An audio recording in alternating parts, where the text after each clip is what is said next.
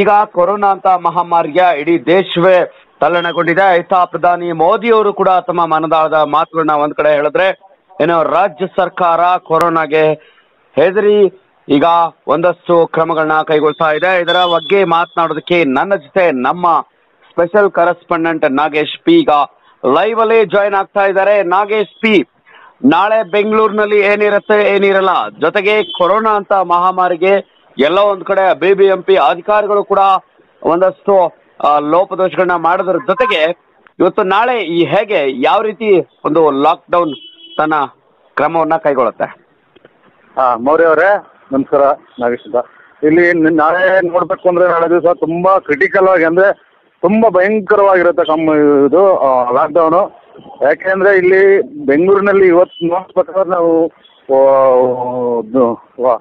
So ನಮ್ಮದು ಇದ್ರ ವಾರ್ತಾ ಸುದ್ದಿವಾಹಿನಿ ನೋಡ್ಬೇಕಂದ್ರೆ ಬೆಳಗಿಂದ ತೋರಿಸ್ತಾ ಇದೆ. ಆ, ಯಾವುದೇ ಟೋಲಲ್ಲಿ ಎಲ್ಲ ಒಂದ್ ಕಡೆ ಕೇವಲ ಬೆಂಗಳೂರು ಮಾತ್ರ ಸುಮಾರು ಸಾವಿರಕ್ಕೂ ದಾಟ್ತಾ ಇದೆ ಕೊರೋನಾ ಪಾಸಿಟಿವ್ ಕೇಸ್ಗಳು. ಒಂದಷ್ಟು ಏರಿಯಾಗಳು ಈಗಾಗಲೇ ಸೀಲ್ ಡೌನ್ ಆಗ್ಬಿಟ್ಟಿದೆ.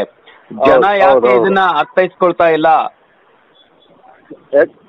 ಯಾಕೆಂದ್ರೆ ಇಲ್ಲಿ ಜನ ಹೆದರಿಕೆ ಬಿಟ್ಟಿದ್ದಾರೆ ತುಂಬಾ ಇದ್ದಿದ್ದಾರೆ ಯಾಕೆಂದ್ರೆ ದಿನ ದಿನ ರೋಡಲ್ಲಿ ನೀವು ನೋಡ್ತಾ ಇರ್ಬೋದು ಟಿವಿ ನೋಡ್ತಾ ಇರ್ಬೋದು ದಿನ ದಿನ ಸಾಯೋಗಳ ಸಂಖ್ಯೆ ಜಾಸ್ತಿ ಆಗ್ತಾ ಇದೆ. ಸಾಯೋದ್ರಿಂದ ಎಲ್ಲಪ್ಪ ಅಂದ್ರೆ ಒಂದು ಯಾವುದೇ ಆಸ್ಪತ್ರೆಗೆ ಹೋದ್ರು ಅವರು ಟ್ರೀಟ್ಮೆಂಟ್ ಸಿಗ್ತಾ ಇಲ್ಲ. ಅದೊಂದು ಕಾರಣದಿಂದ ಇಲ್ಲಿ ಜನಗಳು ಭಯಭೀತರಾಗಿದ್ದಾರೆ. ಭಯಭೀತರಾಗಿ ಏನಾಗುತ್ತೆ ಅಂದ್ರೆ ಸರ್ಕಾರವು ಇವತ್ತಿಂದ ಅಂದ್ರೆ ಇವತ್ತು ಎಂಟು ಗಂಟೆಯಿಂದ ಸೋಮವಾರ ಬೆಳಗ್ಗೆ ಐದು ಗಂಟೆವರೆಗೂ ಲಾಕ್ಡೌನ್ ಇದು ಮಾಡಿದ್ದಾರೆ. ಆ ಇದರಿಂದ ಕೆಲವು ಜನಗಳು ಇವತ್ತಿನ ಲಾಕ್ಡೌನ್ ತಿಳ್ಕೊಂಡು ನಾಳೆ ಲಾಕ್ಡೌನ್ ತಿಳ್ಕೊಂಡು ಇವತ್ತಿನ ಗೂಳೆ ಹೊರಟಿದ್ದಾರೆ ಹೊರಗಡಿಕೆ ಬೆಂಗಳೂರೇ ನಮ್ ಸವಸ್ ಬೇಡ. ಇಲ್ಲಿ ನಮಗೆ ಪ್ರಾಣಕ್ಕೆ ಖಂಡಿತ. ಕಂಟಕವಾಗಿದೆ ಖಂಡಿತ. ಅಂತ ತಿಳ್ಕೊಂಡು ಜನಗಳು ಇವತ್ತು ನೀವು ನೋಡ್ಬೋದು ಯಾವುದೇ ಒಂದು ಟೋಲ್ ನವಯುಗ ಟೋಲ್ನಲ್ಲಿ ತುಂಬಾ ಜನ ಸಂಖ್ಯೆ ಇದ್ರು. ಗೂಳೆ ಗೂಳೆ ಹೊಡ್ತಾರೆ ಅಂತಾರಲ್ಲ ಆ ರೀತಿ ಹೊರಟೋಗ್ತಾ ಇದ್ರು. ಬೆಂಗಳೂರು ಸವಸನೆ ಬೇಡ. ಎಸ್ ಅಂತ. ಈಗ ನೀವು ನೀವು ಕೂಡ ಹಾಗಾಗಿ ಇಡೀ ಬೆಂಗಳೂರನ್ನ ಇವತ್ತು ಇವತ್ತು ಇಡೀ ಬೆಂಗಳೂರನ್ನ ರೌಂಡ್ ಅಪ್ ಮಾಡಿದ್ದೀರಾ?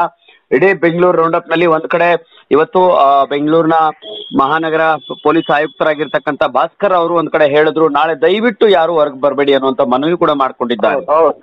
ಜೊತೆಗೆ. ಯಾವ ಅಗತ್ಯವಾದ ಒಂದು ಬೇಡಿಕೆ ಇದೆ ಅಗತ್ಯ ವಸ್ತುಗಳನ್ನ ಖರೀದಿ ಮಾಡೋದಕ್ಕೆ ಒಂದು ಅವಕಾಶ ಇರುತ್ತೆ ಆದ್ರೆ ಅನ ಅನವಶ್ಯಕವಾಗಿ ಹೊರಗಡೆ ಬರಬಾರ್ದು ದಯವಿಟ್ಟು ಹೊರಗಡೆ ಬರಬೇಡಿ ಅನ್ನುವಂತ ಮಾತುಗಳು ಕೂಡ ಈಗ ಬೆಂಗಳೂರು ಪೊಲೀಸ್ ಕಮಿಷನರ್ ಭಾಸ್ಕರ್ ಅವರು ಮಾತನಾಡಿದ್ದಾರೆ ಸೊ ಜೊತೆಗೆ. ಯಾವೆಲ್ಲ ಒಂದು ಸರ್ವಿಸ್ಗಳು ಅಂದ್ರೆ ಮೆಡಿಕಲ್ ಆಗಿರ್ಬೋದು ಆ, ಮತ್ತೆ ಈಗ ಪೊಲೀಸ್ ಇಲಾಖೆ ಅಂದ್ರೆ ಮತ್ತೆ ಜೊತೆಗೆ ಕೋವಿಡ್ ವಾರಿಯರ್ಸ್ ಆಗಿರ್ಬೋದು ಅವರೆಲ್ಲ ಓಡಾಡುವಂತ ಪರಿಸ್ಥಿತಿ ಇರುತ್ತಾ ಇರಲ್ವಾ ಇಲ್ಲ ಇದರಲ್ಲಿ ಕೆಲವೊಂದು ಮಾತ್ರ ಇರುತ್ತೆ. ಯಾಕೆಂದ್ರೆ ಇದು ಮೆಡಿಕಲ್ ಶಾಪು ಮತ್ತೆ ಕೆಲವೊಂದು ದಿನಸಿ ಅಂಗಡಿಗಳು ಈ ಮಾಂಸದ ಅಂಗಡಿಗಳು ಬಿಟ್ಟು ಇನ್ನೆಲ್ಲ ರೀತಿ ಕಂಪ್ಲೀಟ್ ಬಂದ್ ಆಗಿರ್ತವೆ. ಸೊ ಯಾವುದೇ ಕಾರಣಕ್ಕೂ ಏನೇ ಇದ್ರೂ ಇವತ್ತು ಎಂಟು ಗಂಟೆಯಿಂದ ಸೋಮವಾರ ಐದು ಗಂಟೆವರೆಗೂ ಯಾವುದೇ ರೀತಿಯಾದ ಈ ಫೆಸಿಲಿಟಿ ಬಿಟ್ಟು ಯಾವುದೇ ಕಾರಣಕ್ಕೂ ಸಿಗಲ್ಲ. ಆದ್ರಿಂದ ಜನಗಳೇ ಒಂಥರ ಸೆಲ್ಫ್ ಲಾಕ್ಡೌನ್ ತರ ಭಯಭೀತರಾಗಿ. ಹೊರಗಡೆ ಇರಕ್ಕೆ ಅವರು ಪ್ರಯತ್ನ ಪಟ್ಟಿದ್ದಾರೆ. ಎಸ್ ನಾಗೇಶ್ ನಮ್ ಜೊತೆ ಮಾತನಾಡಲಿಕ್ಕೆ ಲೈವ್ ಅಲ್ಲಿ ನಾಗೇಶ್ ಅವರು ಹೇಳಿದ್ರು. ಜೊತೆಗೆ ಮೆಡಿಕಲ್ ಮತ್ತು ಅಗತ್ಯ ವಸ್ತುಗಳ ಪೂರೈಕೆ ಬಂದು ಬಿಟ್ರೆ ಯಾರು ಕೂಡ ಅನಗತ್ಯವಾಗಿ ಹೊರಗಡೆ ಬರಬಾರ್ದು ಅನ್ನುವಂತ ಮಾತನ್ನ ಬೆಂಗಳೂರು ನಗರ ಪೊಲೀಸ್ ಆಯುಕ್ತ ಭಾಸ್ಕರ್ ರಾವ್ ಈಗ ಪತ್ರಿಕಾಗೋಷ್ಠಿಯನ್ನ ನಡೆಸ್ತಾ ಇದ್ದಾರೆ. ಜೊತೆಗೆ ಯಾರು ಕೂಡ ಬೆಂಗಳೂರಲ್ಲಿ ಒಂದಷ್ಟು ಸರ್ವಿಸ್ ಅನ್ನ ಬಿಟ್ಟು ಬೇರೆ ಯಾರು ಕೂಡ ಹೊರಗಡೆ ಬರಬಾರ್ದು ಅನ್ನುವಂತ ಮನವಿ ಕೂಡ ಈಗಾಗಲೇ ಮಾಡ್ಕೊಂಡಿದ್ದಾರೆ. ಧನ್ಯವಾದ ನಾಗೇಶ್ ಪಿ ಅವರೇ ನನ್ನ ಜೊತೆ ಮಾತನಾಡಿದಕ್ಕೆ